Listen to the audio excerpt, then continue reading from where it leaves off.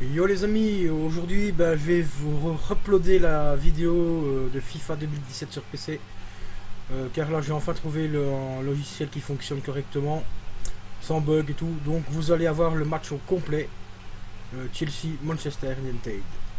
Je vous dis déjà bon match. Allez let's go